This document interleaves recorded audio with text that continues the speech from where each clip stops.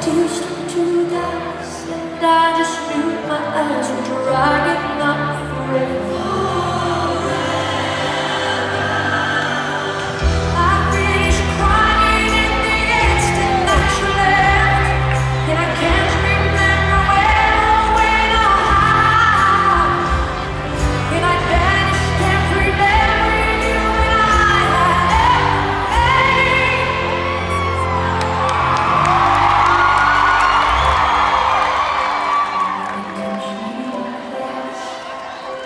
Oh,